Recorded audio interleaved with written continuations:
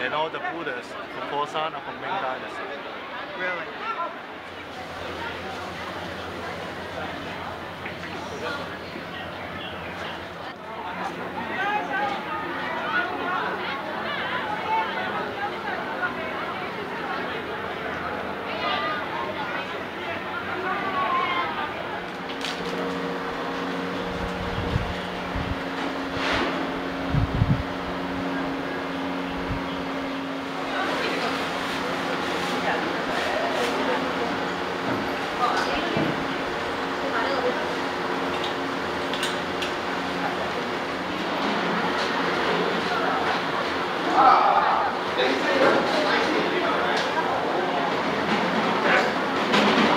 lên à